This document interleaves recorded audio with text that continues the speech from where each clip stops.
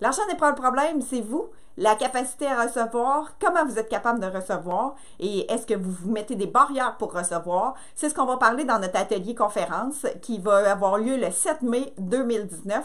Euh, l'endroit va être à déterminer. Alors, euh, va voir les informations sur ma page Facebook et mon site web elodebenoit.ca. Inscris-toi. Euh, ça va être super intéressant puis on va s'amuser tout ensemble.